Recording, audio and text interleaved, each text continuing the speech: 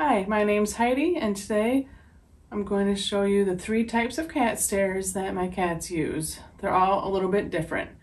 So you can decide which one's best for your cats. These are wood carpeted stairs. They're very sturdy and if they're strong enough that a human could step on it with no problem. And if they would like, they could use these to scratch on too. But as you can see, uh, my cats really haven't done that. When we first started getting cat stairs when we had senior cats that needed a little help getting to higher places. Here's another set of our cat stairs. These are slightly higher than the other ones. So we wanted this fourth step to make it easier for the cats to get into the bed. And as you go down, they're more sturdy I think these are made out of wood. It might be like some kind of particle board. But these are pretty strong. I'm not too worried about this wobble because it's right here uh, by this end table. And one thing I do like about this is it's strong enough for humans. So I can actually step on the bottom step to help me get into the bed too.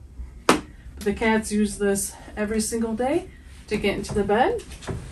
Uh, Buster likes to sleep with me in the bed. And these are our plastic cat stairs. The cats use them every day to get onto this table. So they have cat beds back here. And we had the stairs before we had this cat tower. Otherwise, they could have just used a cat tower.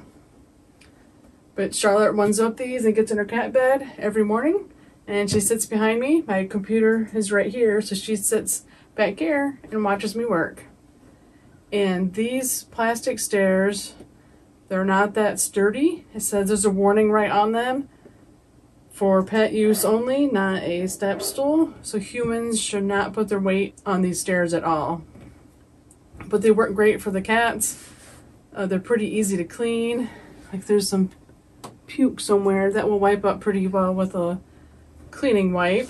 The one thing about them is on this floor, they slide kind of easily. Like the rubber stopper things, the little black things that it came with on the to put in the bottom didn't really work that well. So we've tried to use something else, but they can slide a little bit. So if you really want sturdy cat stairs, I'd recommend getting the solid wood ones. But the other ones are also fine for helping your cat get to higher places because they're a little bit taller. Plastic ones cannot be used by a human. I wouldn't even step on the bottom step, but these are perfectly fine for the cats. So thank you for watching. I hope that helps you decide what kind of cat stairs are best for your cat.